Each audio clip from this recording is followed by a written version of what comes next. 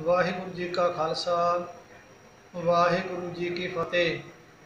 ਗੁਰੂ ਪਿਆਰੀ ਸਾਧ ਸੰਗਤ ਜੀ, ਜਿੱਥੇ ਕਿ ਜਿਵੇਂ ਆਪ ਜੀ ਨੂੰ ਪਤਾ ਹੀ ਹੈ 26 ਮਈ ਨੂੰ ਗੁਰੂ ਅਰਜਨ ਦੇਵ ਮਹਾਰਾਜ ਜੀਆਂ ਦਾ ਸ਼ਹੀਦੀ ਗੁਰਪੁਰਬ ਆ ਰਿਹਾ ਹੈ।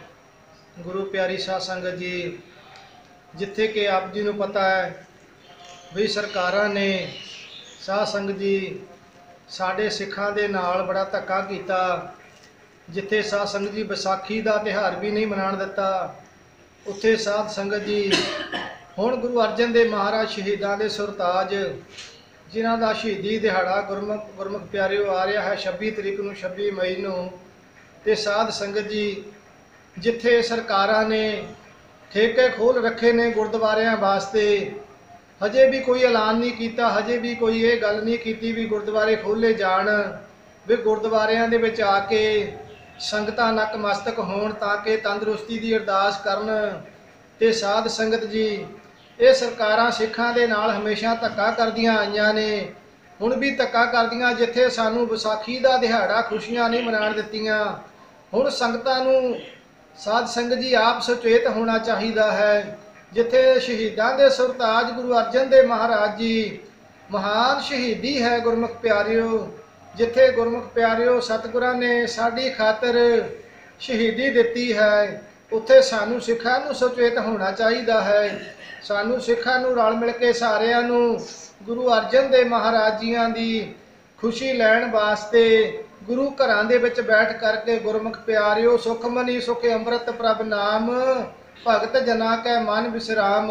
ਸ੍ਰੀ ਸੁਖਮਨੀ ਸਾਹਿਬ ਜੀ ਦੇ ਜਾਪ ਕਰਕੇ ਵੱਧ ਤੋਂ ਵੱਧ ਤੇ ਗੁਰਮੁਖ ਪਿਆਰਿਓ, ਸ਼ਹੀਦੀ ਦਿਹਾੜੇ ਮਨਾਣੇ ਚਾਹੀਦੇ ਨੇ। ਸਾਰੀਆਂ ਸੰਗਤਾਂ ਨੂੰ ਬੇਨਤੀ ਹੈ, ਗੁਰੂ ਘਰ ਦੇ ਵਿੱਚ ਜੁੜ ਕਰਕੇ ਜਿੱਥੇ ਸ਼ਹੀਦੀ ਜੋੜ ਮੇਲਾ ਆ ਰਿਹਾ ਹੈ, ਵੱਧ ਤੋਂ ਵੱਧ ਜੁੜ ਕੇ ਗੁਰਮੁਖ ਪਿਆਰਿਓ, ਗੁਰੂ ਅਰਜਨ ਦੇਵ ਮਹਾਰਾਜ ਜੀਆਂ ਦਾ ਸ਼ਹੀਦੀ ਜੋੜ ਮੇਲਾ ਮਨਾਈਏ, ਤਾਂ ਕਿ ਸਾਨੂੰ ਡਰਨ ਦੀ ਲੋੜ ਨਹੀਂ ਹੈ। ਜਿੱਥੇ ਗੁਰਮੁਖ ਪਿਆਰਿਓ ਸਰਕਾਰਾਂ ਨੇ ਠੇਕੇ ਖੋਲ ਰੱਖੇ ਨੇ, ਬੜੀਆਂ ਭੀੜਾਂ ਲੱਗਦੀਆਂ ਨੇ। ਗੁਰੂ ਘਰਾਂ ਦੇ ਵਿੱਚ ਜੇ ਸਿੱਖ ਇਕੱਠੇ ਹੁੰਦੇ ਨੇ ਤੇ ਸਾਡੇ ਤੇ ਡਾਂਗਾ ਭਰਾਈਆਂ ਜਾਂਦੀਆਂ ਨੇ। ਤੇ ਗੁਰਮੁਖ ਪਿਆਰਿਓ, ਸਾਨੂੰ ਕਦੀ ਡਰਨ ਦੀ ਲੋੜ ਹੈ? ਤੇ ਇਸ ਕਰਕੇ ਗੁਰਮੁਖ ਪਿਆਰਿਓ, ਆਪਾਂ ਸੁਚੇਤ ਹੋਣਾ ਹੈ ਤਾਂ ਕਿ ਗੁਰਮੁਖ ਪਿਆਰਿਓ, ਇਹ ਕਰੋਨਾ ਵਰਗਾ ਨਾਂ ਲਾ ਲਾ ਕੇ ਇਹਨਾਂ ਨੇ ਬੜੀਆਂ ਲੁੱਟਾਂ ਮਚਾਈਆਂ ਨੇ।